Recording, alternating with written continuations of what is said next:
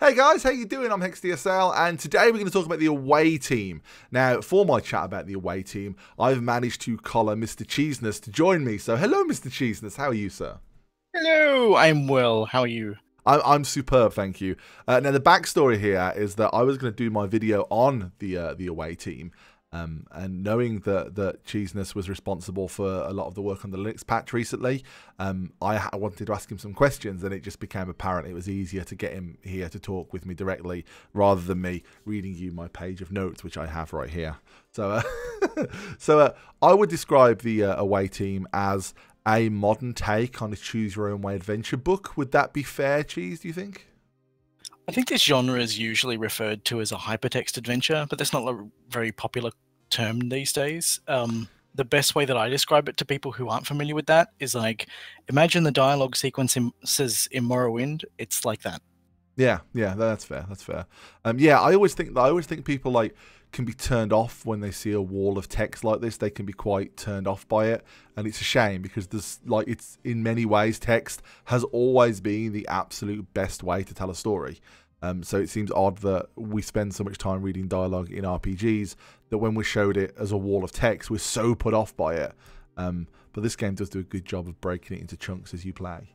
Um, yeah, I like the way that text moves incrementally whether you, like, you, set it up on the timer or whether you make it happen only when you click. Like, I yeah, I, nice. I, I, well, for you guys in uh, the away team, as I said, text adventure, science fiction. It's priced at four pound seventy nine. The uh, Linux requirements, which you should be able to see on the screen now, are very modest indeed. Oh, it's nice. Recommended OS is Manjaro Linux. That's interesting. You see the minimum OS? Hannah Montana Linux. That's how did I miss that? That's gold. Uh, um, I don't usually see anything other than Ubuntu written there, but in the last couple of days, I have seen Arch-based distros mentioned. Never before have I seen Hannah Montana Linux mentioned. Um, it's always God, a first, I, right? God, I hope that's a real distro. I, I so hope that's a. It is. A re- it is. No way. Yep. Fantastic. I'm doing a video on that soon then. um, I was not involved yeah. with picking that minimum requirement. It was a surprise to me when I found it. Is there a particular reason they've used they've suggested an Arch-based distro as recommended? or was that just what that was? Uh, I think that's because that's what um, the lead developer sort of favors on his Linux box. I don't think he does a lot of Linux stuff, but Manjaro is what he runs. Yeah, so, yeah. I, I Manjaro is a great distro. A lot of people are always railing on Manjaro because it's it runs out of sync for the AUR and stuff. But if you're not a big AUR user, Manjaro is probably the most friendly version of Arch you can use, to be honest. Um, but anyway, that's mm. a hmm. whole separate topic.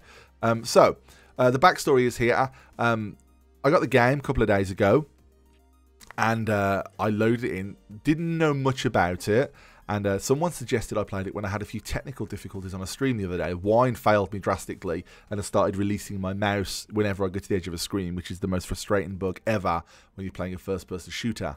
Um, so, so, after a few technical difficulties, someone in my chat while I was streaming recommended I played the away team as I'd said that I had it. And uh, I didn't know anything about it other than seeing a few screenshots on the Steam page.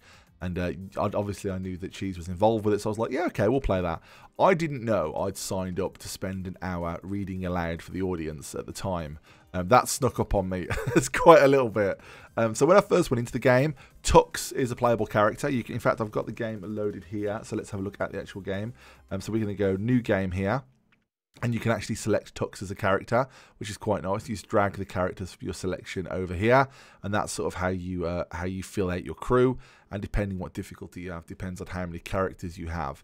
Essentially, how many chances to brutally murder people. Um, so I'm just going to populate this with just some random characters to get into the game.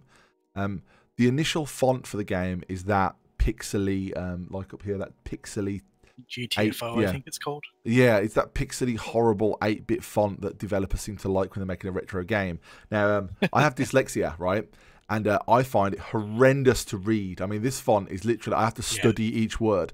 And I wish developers, if they want to have it in the game, use it for headers and stuff. But in a text adventure, it, it, really shouldn't. Like, it really should pop up the first time you load it and ask you to pick a font.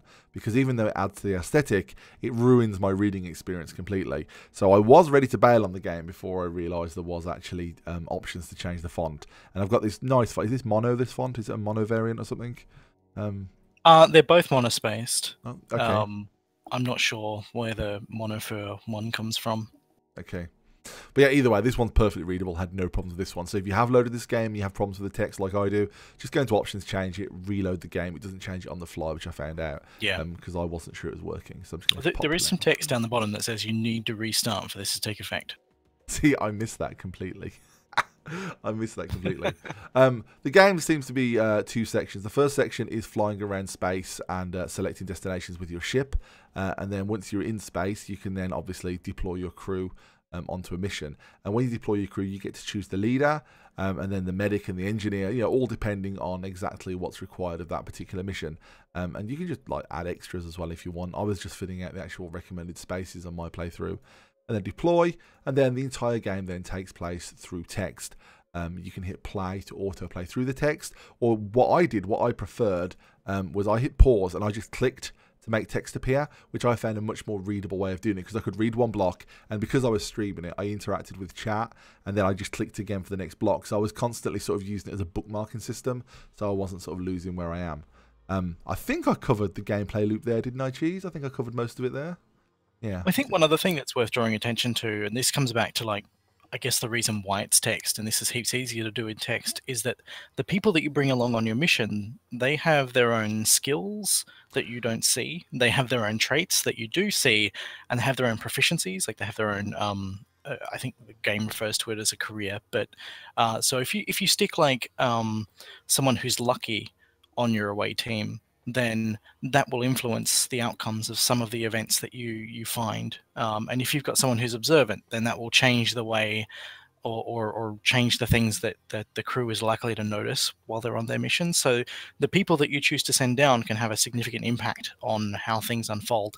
Um, and I would say that the away team features uh, a degree of dynamic storytelling, um, which I think is the thing that makes it most interesting to me. Yeah, um, I liked a couple of things that I, I, I enjoyed about it. Um, was I didn't first like when I first very first set up my crew, I didn't realize as I was choosing my crew there was anything more than I like that person. That person looks fun. I wasn't really looking at the skills because I didn't realize how much it was actually going to play into it. But sort of when you need a medic for your mission and that you don't have a medic available, you then have to sort of decide who you're going to use, who best fits that profile. Um, I did think it was mm. interesting that I, I, almost completely missed that aspect the first time, like my first playthrough, if you like. Um, so you can put yeah. anyone in the medic role if you want. Mm, um, which I and did. then certain missions that require a medic, the stats of the person you've got in the medic slot will influence how things you know unfold. So if someone's not a medic but you keep using them as medic, will they eventually level up and like become a more effective medic? Um, I don't. The skills don't really work like that. I like. I don't think there's a medic skill that the game tracks underneath. I think there are three skills. Mm-hmm. Um, and I don't want to sort of demystify some of the, the no the game. No. No demystification. It's it's all magic. Video games are actually magic, as magic. far as I know. um, but yeah, it's it, it's it's good, and the writing will not surprise me because, as I said to you uh, before we started recording, I see a game with a penguin as a, as a selectable character, I did not expect this to be a highbrow sci-fi epic. Um, it was. I mean, some of the earlier on. I, mean, I don't want to give away any spoilers, but one of the very first missions, um, I find a room that's got um, that has a Starfield across the wall, uh, which is like a map, and then it's got a statue, and then it's got like quotes um, from Prometheus on the statue. And then as you go through the story, you sort of like realize that the AI, who is sort of you're essentially playing the part of the AI as the player, um, tells explains to people that the stars mean this and and because this means this i'm like holy shit this is some highbrow shit. This is something you'd read in asimov or something this is. I was like i didn't yeah, expect yeah. a game with a penguin and and a guy who obviously looks like charles xavier with an x in his name. Um I, you know just there's things you like you don't expect it to be this highbrow and it sneaks up on you. And as a fan of sort of 70s science fiction it really sort of resonated with me early on that are like, wow, this is a lot. This is not where I expected. This is a lot deeper. But unfortunately, that happened to me on stream, where I had to just keep going and couldn't take a moment to sort of reflect on that, which was a shame. But I now know that. Yeah, don't stream this game, guys, unless you unless you've got a big glass of water and some and some novelty voices ready, because you're going to be there for a while. But uh, it's um that that mission is the first one in, yeah. in part of the main story. Oh, is it always uh, the first mission? In that one. No, no, no. Sometimes it takes you a while to come across that. So it's interesting to see you come across that so early. Um, but there are others that are kind of you know isolated one-off things. There are others that have their own like little chains of related stuff. There's even one uh, away mission where you land on a space station that's occupied by a robot wearing a monk outfit who gets your crew to do a stage play that it hasn't finished writing the script for yet, and it's like super pantomime and stuff. See, so like it, it That's some magic. tonally right it goes uh, in a bunch of different places, but it it kind of feels like Star Trek in that respect. You know, like sometimes Yeah. you got the comedy episode, sometimes you got like the the deep and heavy episode. Yeah, yeah. Um, when you get to the point in the game where you have to make a decision, um, you get a little bit of blue text there, and you get to. I'm just trying to find what. Oh my god, my face is covering it. Of course it is. Um, there you go. I'll resize that for the for the uh, for the people watching. You get this text here, this blue text, and you can set it on this one. Again, I'm skimming past a lot of the finer plot details here, and I'm certainly not reading from the game because I think you know that's spoilers. But in this particular one, I get an option between entering the chamber and returning to the surface. So if I click enter the chamber there, that's taking the story in a drastically different direction. And one of the things I enjoyed through my play of it, at least, was that none of the decisions are like, should I look above the step or below the step? You know, there's not like these minor plot details that are almost irrelevant. Every time you get to make a decision, you have to sort of weigh up exactly what you're doing and where you are because like the decisions you make always influence the entire direction of the story not just like which shirt shall i wear and stuff like that it's, it really is meaningful which i liked There are some decisions that don't necessarily have an impact, but they're decisions where if you were there at that moment, you would be assuming that they would have yeah an impact on the thing. It's like, do I go through this door? And it turns out that that building's empty and it doesn't matter that you went in there. But the decision to go in there or to not go in there is is very much the kind of decision you would have to make if you were on the ground at the at the time, you know. Yeah, absolutely, absolutely. Um, but even if the decisions don't mean anything or matter as such, it's nice They that feel y- weighty, you feel you know? like they do. You know, you Mm. you like it's not asking you inane stuff like you know ketchup or mustard. It's everything it asks you. You know, feels like it's important. And I like this way this start. I'm actually back in space on my screen there, flying around as I'm showing people the bits of the game. And uh, it is it, even the space bit's quite nice. It's you know just click where you want to go in the ship. The animation's very nice, and there's not a lot of graphics, and it is like expect an awful lot of text if you're going to pick this game up. Like you know, don't be confused about that. There's a lot of text here to deal with, but um, I do think that the, the graphics that there are are very well done and very clear, which I like a lot. Especially that penguin. Yeah, especially the penguin. Um, I do believe you're responsible for this penguin, aren't you? I am. When I when I started working on the game, I was like, oh, I'd like to put together a character so that I can explore how the character creation stuff works because I want to do some work on that uh, later on. Um, and I made a penguin. Like I like just drew my own penguin while I was waiting for stuff to compile, and I, I like put in. I think the description I had for it was just penguin, penguin, penguin, penguin, penguin, chicken. um, and I showed it to the guys, um, and they were like, "Oh, this is really cool. We should we should put it in." And I went, "All right. Well, if you want to do that, I'll write a proper bio for it, and I'll give it proper stats." And um, and so we put it in the game, and then um, you know that's kind of a nice nod as well. I think when you kind of go, "Well, this game's come. It came out for Windows first, and it's come to Linux later. What can we do to let Linux users know that we kind of care about them and and Yeah. that we um, we want to recognize that that they're an important part of the audience?" Yeah, self-aware penguin um, with leadership skills is obviously the way to go there. Um, he's also into teamwork as well. I noticed that he's a, he's a team worker and he's very lucky. Um, and he gets distracted often because he's a penguin, I assume. Um, I assume because he, that's it. 'cause he just loves solving problems. He loves going out of his way to. I, it's funny. I wrote it, and I, I basically described the way that I got involved with the project, um, which was just that you know I saw an opportunity to help, and I jumped on it, even though I've got a million other deadlines to worry about. Like, But no, I I, showed need it to a couple of people, and a whole bunch of people went, "Oh, that that feels like it's talking about me. That just feels like it hits so close to home." And I wonder whether that's something that's common across Linux users is that we often do like to to solve problems. We do like to help people. We do like to be involved with communities, and we do like to um to feel like we're making a difference. You know, Yeah, I'd, I'd, I'd agree with that. Um, I noticed Yeah. that on the character on the character selection page, um, it, it supports multiple pages, but there's only one page of characters. Do more unlock, or are they planning on adding more later? Um, that was made with the idea of if people want to make their own characters, in the same way that I made the penguin, uh, you can actually like add your own content to the game, so you can make your own characters.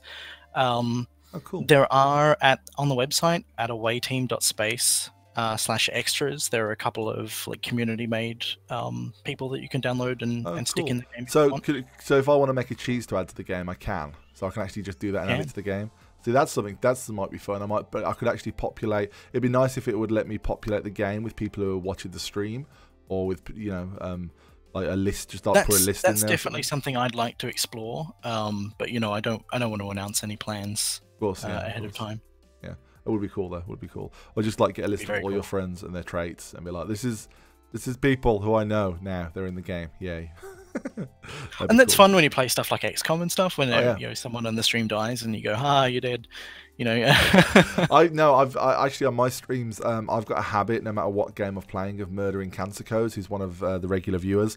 I've murdered Nice. more Cancer Codes to the point now where when I create a character called Cancer Co, everyone's just waiting for him to die, and he's in chat going, "I demand a blood sacrifice."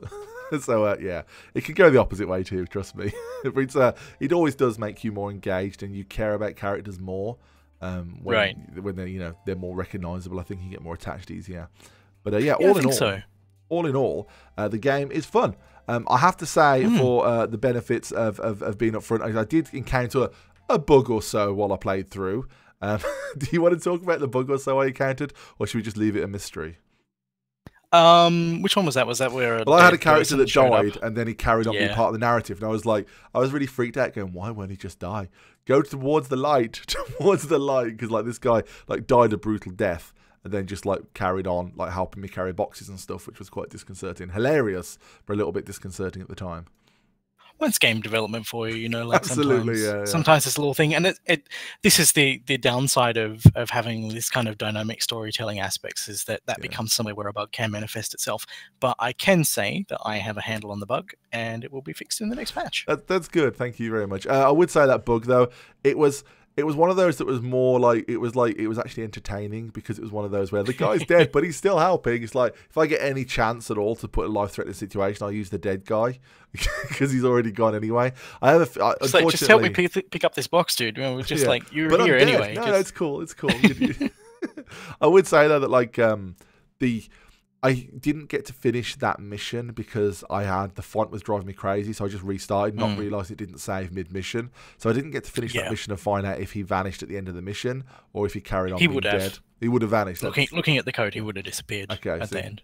That's that's cool. That's fair enough. But yeah, that was the only real bug I faced. Um, like there was a couple of lot of minor grammatical things, which is probably down to the way it builds, like the as you said, dynamic content. Um, but yeah, the whole game, I enjoyed it. I probably would have enjoyed it far more had I not been streaming my first playthrough and sort of had a better idea of, of what I was doing. And uh, There's one other aspect as well, which I don't think we we touched on. Oh. Um, sorry to to No, no, you bring things on. back, but you know more um, about this game than I do. So, so there, there, there. Outside of the hypertext adventure section where you're like clicking buttons and stuff, there's this kind of resource management metagame where Mhm. there are three resources that you have to care about. The two that the game shows you are fuel and food. So the amount of distance that you need to travel to get to planets will eat up fuel, and the amount of time that it takes you to travel around the system while you're visiting planets will eat up fu- food, depending upon how many um, how many crew members you have. And as you progress through missions, you'll have opportunities to pick up food. Uh, you might have opportunities to upgrade some of the ship's systems, so you can increase your sensor range, or you can increase your engine speed, or you can um, increase the efficiency of your replicators. I think so. You can you can change the dynamics of how all this kind of food, fuel, uh, and time relationships work. But the other resource that you kind of care about uh, is crew members, because as we've mentioned, crew members can die. And the game is over when you have no crew members, but the game is not over until you have no crew members. So you might lose a few people here and there, but you can still finish your journey if you've uh, if you've So, only got one person I take it, obviously, you've played a lot more of this than me, so you've actually played through the narrative. Uh, can you succeed, or is it always end in death in the end? Uh, there there are endings. Um, there are multiple endings. I think there are probably. Let me let me have a quick squeeze here. One, two, three, four. Yeah, there, there are four like narrative endings with with some kind of conclusion. That's not just everybody's dead. the end. Yeah, that that goes somewhere beyond everybody's dead, right? okay, so we've got to look out for those. Definitely look out for those. So yeah, hopefully uh, we've told you a little bit about the away team. And I would say, beware, guys. This is a text adventure. Um, don't pick this up if you're someone who skims text because you're going to skim your way through the entire game. Yeah. This is um, this is a this is a good text adventure though, and I uh, I found the writing to be very good. and I had no real concerns there. Um, I know uh, Cheeseness, we didn't say in the video, but uh, this is not Unity based. This is you said a custom engine using the SFML framework. I. Yes, yes. Yeah, I uh, and all I the recall, I wrote- are made wrote it down. using Lua, so they're like um, that's the scripting language they're using, and Yep. then they're using SFML for you know all the uh, the actual engine code. Okay, well, it's, the Linux version seems perfect. It doesn't seem like there's anything wrong with it that you wouldn't find on any other platform. Um, so which is, which yeah, fingers crossed, which is nice. uh, yeah, I feel like yeah, first class citizen, and I see a penguin, I don't see a flag character, so that's good, right? Uh, so that that's preferential treatment, if anything. Do I take it the yeah, yeah. Well, I we've take got it. Linux exclusive content. Like, how often do you see that in the game, right? Well, does the penguin appear on the Windows version? No, no, it's only. Oh the Linux wow! version. I didn't even. I think we're going to pop it up as an extra No. that No, the Windows don't. users can download, but it, I, don't- I think it'll it. only ever be installed by default on the Linux version. Don't let them have it, dude. Don't let them take it. Um, I might, I might try and see if I can roll a version of the game where every single character's a penguin, all of them, every one, maximum Linux mode. But uh, yeah, I think yeah, we've covered give me a nudge. I'll make you some extra penguin sprites, and then you can have a, a full full crew of penguins. full crew only penguins all the time. They all look look identical, unfortunately. So yeah, as I said at the beginning of the video, the game's priced at four pounds ninety nine, uh, for four pounds seventy nine, I should say. Sorry, I always go four ninety nine. I always seem to round up with everything. Um, and it's got very modest requirements. I think if you're playing playing on a netbook or something like an older powered laptop, and you just want something not too battery heavy that's going to play well, I this game's going to be great for you there. Um, and if you're someone like me who's happy to sit and get invested in essentially a kind of visual novel, then it's definitely worth looking at. And the sci-fi writing is very good. It does remind me of epic 70s sci-fi, which is nice. So I think we've just about covered all the bases, cheese. Um, I'll when I've got more time with the game logged, I'll probably do a follow-up video. But uh, before we go, is there anything to add, cheese? No, I think I think that's about it. And, and like for anybody who who picks it up and finds that it's something they love, like reach out to the uh, to the development team and let them know. Uh, you know, that's that's how I got involved with development, and I I kind of am really really happy to have had the opportunity to not only discover a cool game like this, but also work on it. Like it's really Yeah, I I Really, must really cool. admit, like I'd like them to make like a like a, a character generator so you can export characters, and then we can just have like the entire Discord group making characters. Like you know, just put it on the website. or I, like I said, I don't want to pre-announce anything, um, but but that's that's stuff we're definitely Hey, about. we'll, we'll take it as a promise now. Then absolutely, absolutely. but no, I do like the idea of being able to point the uh, point the Discord group at a URL and get them to populate the uh, crew for my entire game. That might be fun to play. Uh, but yeah, definitely interesting game. I'm enjoying it. I'm going to be spending more time with it. Uh, and thank you for talking about it with me, Mr. Cheeseness.